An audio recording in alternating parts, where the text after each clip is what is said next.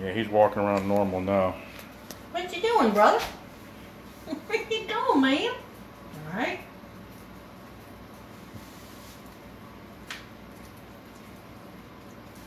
So right, little brother. I put all their food down. I don't know, maybe he didn't get